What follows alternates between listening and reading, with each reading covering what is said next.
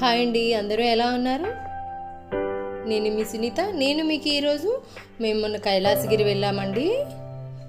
చాలా బాగుంది అక్కడ మొత్తం గార్డెన్ కానీ అక్కడ. ఎలా ఉందో మీకు చూపిద్దామని వీడియో తీశాను. చూసేద్దాం రండి.